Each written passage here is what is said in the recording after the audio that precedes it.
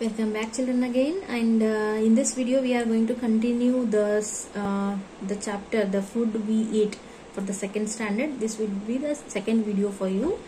And uh, in the last video we have discussed about the food we eat we have discussed the variety of the food and which food must be eaten. And um, what are the varieties of the food what they are going to give us which type of energy they will give and even how how balance uh, balance we have to eat uh, or how to make balance in a you know eating food. So uh, what is balanced diet? These all things we have discussed in the last video. So in this video we are going to continue uh, along with uh, good eating habits. What is this good eating habit?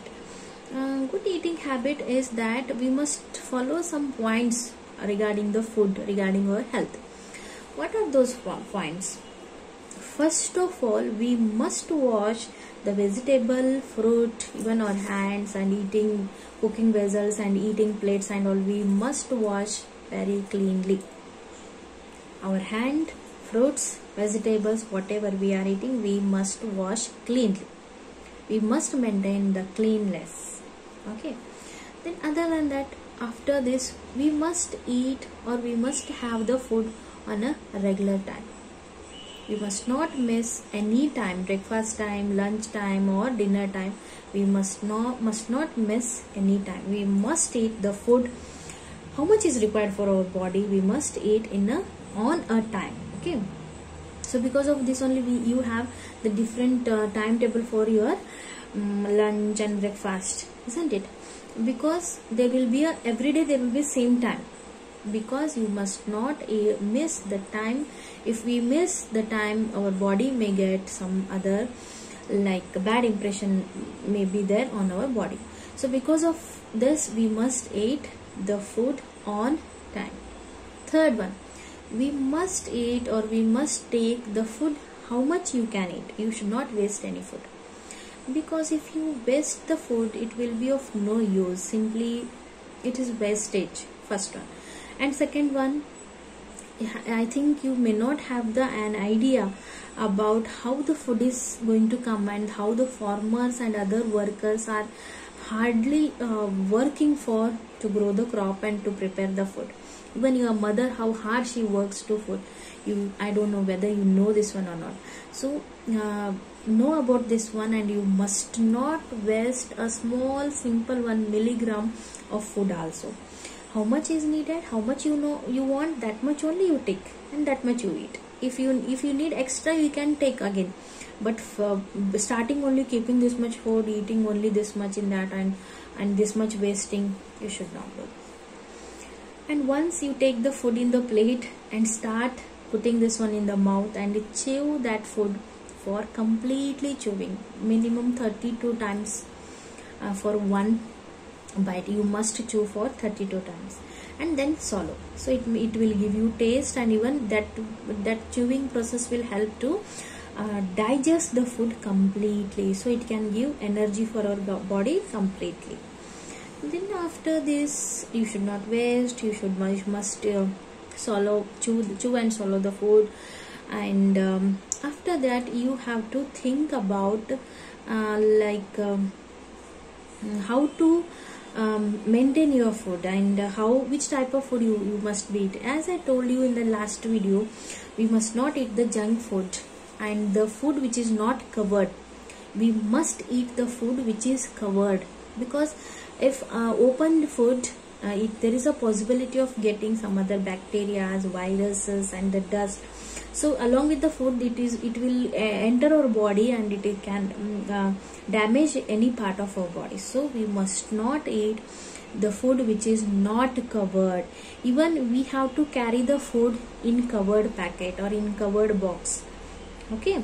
And we should not keep food for like openly we should not keep. And even if you want to give food to others you must cover and give.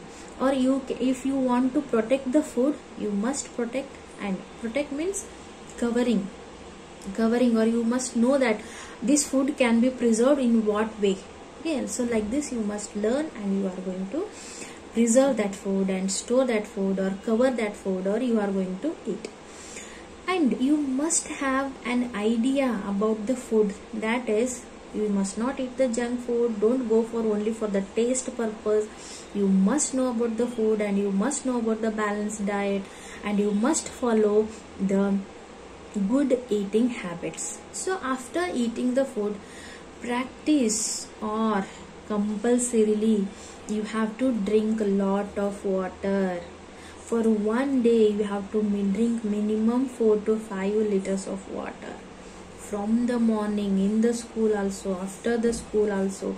When you enter the house in the evening you must drink the water more than 4 to 4 liters. So drink a lot of water sufficient water means what? Which will help our, our body to maintain the water level and even it, which is going to help the body to digest the food what we eat so drinking water is also a most important uh, good eating habit. Next uh, drinking after drinking water we know that we must cover the food we must eat covered food and we must cover and keep we must uh, know how to store the protect the food. And uh, at last i would like to tell you that then now you may getting confusion then what type of food is good for our health? What type of um, vegetable? Then shall i eat only the apple for the 10 years? Then shall i eat only the chapati for the five next 5 years? And then shall i drink only the drink in at the night no dinner? And then shall i eat only the orange juice in the morning for the breakfast?